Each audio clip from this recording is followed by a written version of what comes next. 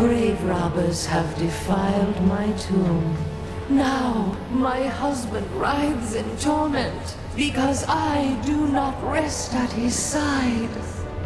Return my bones so that we may rest in peace.